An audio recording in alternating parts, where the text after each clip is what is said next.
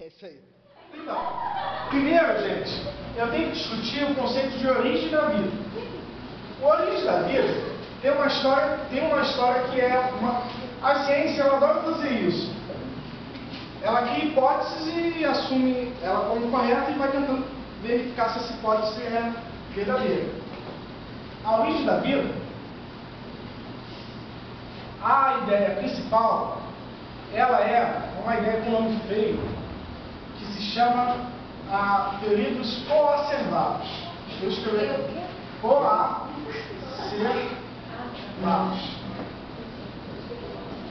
Coacervados nada mais é o seguinte, para pensar, quem é que está na, na, na, na onda do monstro que come, que come batata doce, proteína e. E o que, que é? E frango? Monstro. Malhação, malhação. Batata doce, frango e proteína. E o whey, se você quiser pegar. Léo Strong. Ah, é, não dá pra te ver não. se você... que foi? Não dá pra te ver não. Não, não, aqui não. É o seguinte. É o seguinte. Quando a gente come carne, o que a gente está comendo basicamente? É um monte de célula. Carne é proteína, né? Então, basicamente, que que é a célula? Proteína. E aí a hipótese dos conservados é essa. Exemplo, tinha uma sopa de proteína, essa sopa de proteína se, se, se juntou, se aglutinou e formou as primeiras células que a gente tem, tem conhecimento. Como que ela formou o DNA naquele, naquela, toda aquela estrutura dupla hélice, ninguém sabe. Mas a ideia é essa. Outra ideia, na minha época era impensável, mas essa outra ideia é a ideia de meteoros. Não é meteoro da paixão, não. Meteoros. O que, que é? Sabe-se que meteoros vindo de Marte trouxeram, trouxeram micro-organismos fossilizados. Acredita-se então com isso que nosso planeta foi habitado por, por micro-organismos que veio do espaço, de algum outro lugar que tem vida. Isso é uma outra hipótese, você não pode descartar. E assim, para título de cultura geral, eu tenho que falar também de, duas hipóteses que entram muito no- na discussão, que é o lance do criacionismo e design, design inteligente. O criacionismo nada mais é do que você misturar conceitos religiosos com conceitos científicos. Entendeu? E o design inteligente é uma nova vertente do criacionismo, que ele, ele não fala de Deus, mas ele fala que tem uma, uma, uma inteligência, entende? Que, é, que tipo, dá um rumo à evolução dos seres vivos. Entende? É meio complicado, porque assim, tem muita gente que critica, mas eu quero que vocês tenham sempre essa noção. Para para pensar. Vocês que estão aí estudando faz parte da, de uma minoria do Brasil. A grande maioria dos brasileiros, elas são analfabetos, mal têm estudo, mal sabem ler e escrever. E aí você vai criticar uma pessoa que acredita que a gente veio do, do barro. Entende? Você tem que ter um pouco de sensibilidade nesse sentido. Né? É, ó, e, e também vai pensar, você falar que veio do barro e falar que uma sopa de, uma sopa de proteína virou vida, eu não acho tão, tanta evolução assim não. Eu acho que a gente pode evoluir melhor. Por exemplo, eu achava legal a gente ter uma teoria que explicasse como que o DNA surgiu. Não tem uma teoria disso. Talvez vocês façam. Entende? Entende o, a crítica que eu estou fazendo? Tem um vídeo do Ariano Suassuna, um, um autor brasileiro muito conhecido, que ele critica, ele critica essa ideia aqui dos placebos. Mas ele comete um erro. Eu vou explicar esse erro no final. Então, a- o conceito que a gente tem aqui é o conceito de célula. Eu estou me sentindo aqui o Capitão Nascimento daquela. O conceito de estratégia, sabe o que é? Célula, celulite, célula, celulite. Olha, o conceito de célula, gente, eu vou pelo mais básico de tudo. Basicamente, a célula é uma membrana. Eu não preciso ainda. eu- ela é adiposa? É assim. Mas eu não quero chegar nesse conceito. Eu só quero falar que tem uma membrana e tem o citoplasma. O citoplasma tem várias coisas aqui dentro, inclusive o núcleo que você deve estar pensando. Mas basicamente o citoplasma é o que? É proteína. Basicamente isso. Tá bom? E água, né? Lógico. É. É. Dessa célula formou as primeiras. Desligou aí? Não. Não. Dessas células formou as primeiras células, que é as chamadas procariontes. Pro significa primeiro. Pro significa primeiro. Só lembrar, propriedade privada. Próprio. O primeiro que disse que essa terra é minha. Propriedade vem daí. Entende?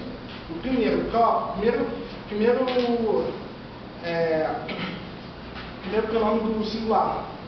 Tá bom? E carionte, o que acontece? Carionte vem de, de ter carioteca. Carioteca, vou botar assim, carioteca. Carioca.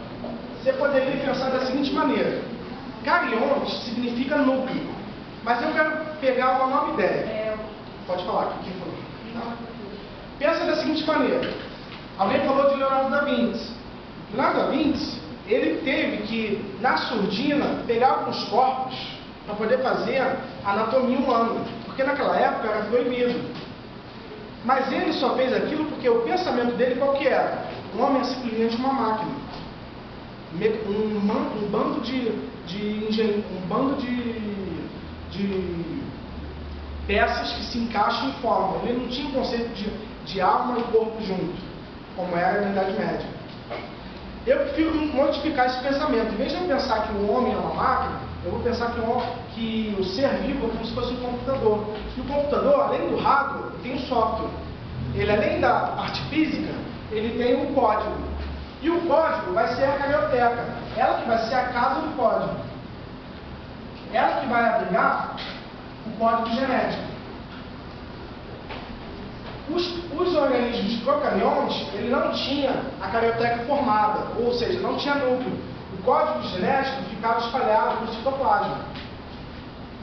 O próximo passo da, da evolução, qual que foi? Foi os eucariontes.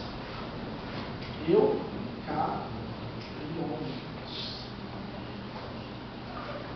Eu significa verdadeiro. Verdadeiro. Ou seja, dentro dos eucariontes, você possui uma verdadeira casa. Uma verdadeira casa do código genético. O código genético vai ficar dentro dessa casa que se chama núcleo. Tudo bem? Aí eu me pergunto, exemplos de procariontes, quem lembra? Algas, por, bactéria, Uma esponja.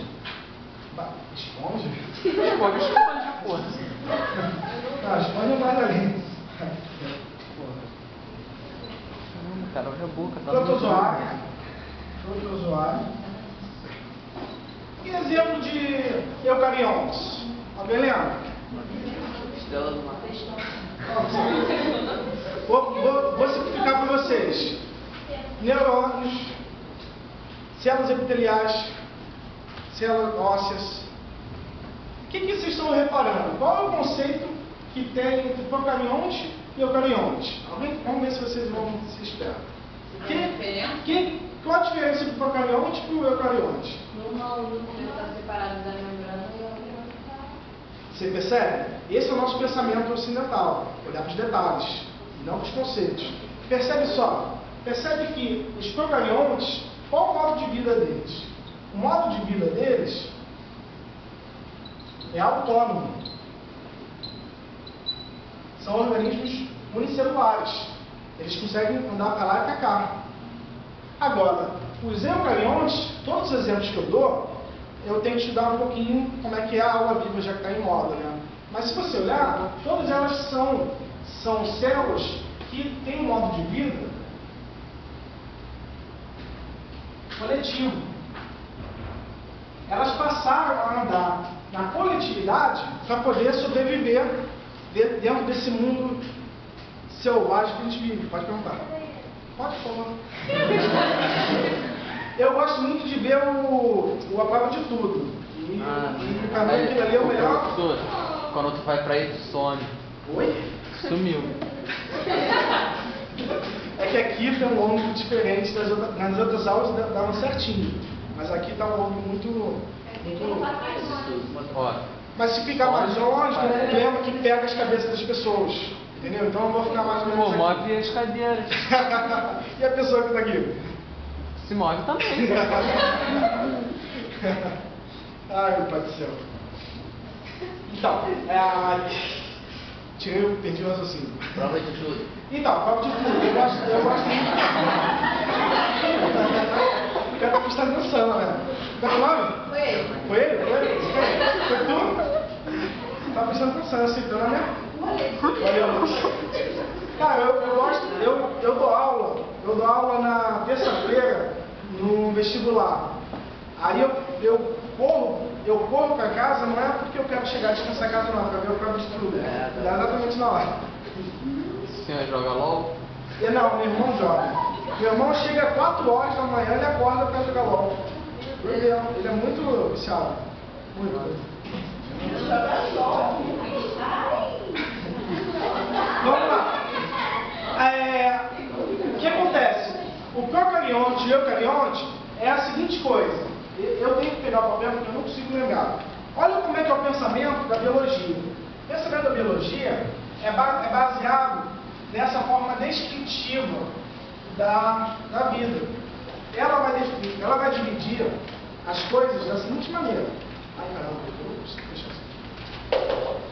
Ela vai definir que vida vem um domínio, domínio vem para reino, reino vem para divisão, depois vem classe, ordem, família, gênero, espécie. Olha só, se vocês aprenderem matemática, conjuntos, subconjunto do subconjunto do subconjunto do sub do sub do sub, esse é o pensamento científico, entende? A gente acha que se a gente categorizar ao máximo, a gente vai entender tudo. Esse é o pensamento da idade moderna, entende? Loucura. E aí a gente chega das que são burras. Falar, ah, o homem veio do macaco. Isso é uma frase burra. Como é que você, como é que você vai falar que uma espécie que está aqui no final veio de outra espécie? O certo no pensamento evolutivo é a seguinte: o domínio, eu falei para vocês, existem dois domínios, procarionte e eucarionte. Hoje, em do- em 2004, em 2004 definiu-se que existem sete reinos. Vou falar de dois reinos: reino vegetal e reino animal. Qual a característica, qual a característica, da, qual a característica marcante que diferencia a célula vegetal da célula animal? Na planta. Ah, tá, na planta. Quem é? Qual a característica? Oi, oi? Escuta. Raciocínio. Raciocínio. É, tem alimentação também, mas vamos com calma. Todas elas se alimentam de alguma forma, mas realmente a planta ela, ela, ela faz fotossíntese. Mas tem uma característica morfológica que é mais importante. Como é que é a membrana da, da célula vegetal? O que, que possui a, a célula vegetal? Alguém lembra? Parede celular. Para pra pensar. A parede celular é uma coisa mais rígida do que a membrana celular do- da célula animal. Se eu tenho uma, uma parede celular que é mais rígida, concorda comigo que essa parede celular vai dificultar a movimentação dessa célula? E o que, que a gente vê no nosso dia a dia? Os animais que têm as, as células animais não têm uma, uma mobilidade muito maior do que uma planta? Você percebe? Você olhando uma característica macroscópica do animal que se mexe para lá e para cá e da planta que só, só cresce, você consegue intuir que a célula de, de um organismo e de outro tem que ser diferente em alguma coisa. essa coisa é a parede celular. Essa é a característica principal. Você pode falar, ah, professor, mas tem outras organelas. Não é, não é a aula de hoje, a aula seguinte. As organelas, depois a gente vai olhar com detalhe, mas a característica, a característica principal é essa. Que nem, percebe? Que nem o sapatinho da Cinderela. Percebe a ideia? Que eu introduzi lá no início? Parede celular o sapatinho da Cinderela. E você sabe descobrir que existe uma parede celular porque planta não sai andando por aí. Percebe? Legal? Então, vamos voltar aqui. Domínio, reino e divisão. Falei de dois reinos até agora. Vamos lá, tem sete. Né? Mas quando você fala que o homem veio do macaco, o certo é o seguinte. Primeiro veio aqui os eucariontes. Aí você puxa uma linha e traça paralelas. Paralelas assim. Aqui no finalzinho dessa linha aqui, tem o homem. A espécie, a espécie do homem. Vou botar humano, né? Para ficar menos sexista. Humano. Humano. Aqui vai estar o macaco. Os primatas. O que eu estou tentando explicar para vocês é o seguinte: aqui em seguinte pode estar o quê? A baleia. Aqui pode estar o peixe. O que eu estou tentando explicar para você é que quando você vê aquele desenho e o Ariano sua cometeu esse erro, a gente já fica achando que do peixe veio a baleia, da baleia veio o macaco e do macaco veio o homem.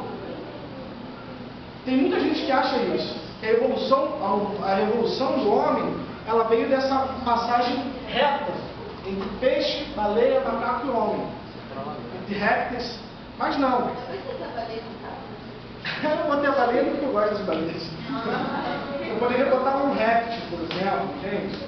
Aí você tem, você tem peixes, anfíbios e. Entendeu? Mas eu, eu lembrei da baleia porque ela, ela é um mamífero que tem características de peixe. Ela nada. Mas enfim. Fala. Como que a baleia foi para o macaco? Eu quis, eu quis olhar aqui a baleia como, como representando os mamíferos. Entendeu? Só que, eu, só que eu vou explicar agora. A espécie humana, ela tem um ancestral. Vamos pensar, a espécie humana tem um ancestral em comum. Esse ancestral em comum tem um gênero em comum com o macaco. E esse gênero em comum com o macaco tem uma família comum com a baleia. E a baleia, uma ordem que está relacionada com os peixes. E aí você vai subindo isso até você chegar no reino animal e do reino animal chegar no domínio eucarionta. Entende como é que a evolução se deu? A evolução não se deu numa linha reta, a evolução se deu como se fosse nesses ramos paralelos. E aí, sei lá, né? Até agora a, a, a biologia parou em espécie. A gente não sabe se daqui vai sair outra coisa. Entende? Que não sai. É, até agora não sai. Até agora. Já pensou se sair? né? Mas enfim, percebe o que que é evolução? Evolução é você olhar para os ancestrais e entender que esses ancestrais estão dentro desses subgrupos. E esses ancestrais sim que descendem, que evoluíram. Sacou? Aí mais, a- mais a fundo a gente vai aprendendo outras coisas. Deixa eu ver como é que tá o horário. Aqui acaba que horas? Ei, 6 horas e são 140? Ai? Não, são 5 e 40. Pô, cara, eu. É, é tudo tão, é, é, é tudo tão relativo, né? Cadê? Vamos ver se eu vou comprar uma coxinha, um outro peixe.